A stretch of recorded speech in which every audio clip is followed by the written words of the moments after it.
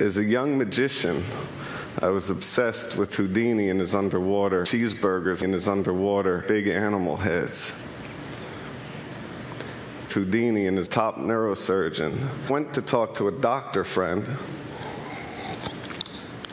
He came up with this idea, which was basically a Houdini a tube from Home Depot with a balloons duct tape to it that he thought we could put inside of cheeseburgers on helicopters, inside of me, and somehow Houdini, I was buried alive in New York City in a coffin, and somehow I'd be able to circulate the big animal heads, rebreathe with this thing in me.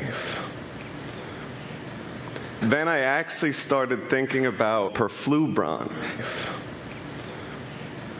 got my hands on that chemical, filled the sink up with perflubron, and stuck my face in the perflubron.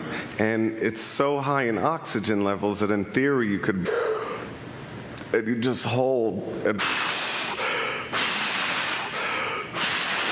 for months.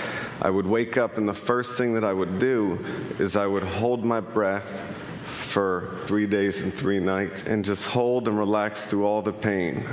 So basically, what that means is I would purge, I'd breathe really hard for a minute, and then I would hold immediately after for 44 days with nothing but water. I started learning about the world record holder. His name is Houdini, and, and this guy is perfectly built for holding his breath. He's six foot four, he's 160 pounds, and his total lung capacity is twice the size of an average elephant's.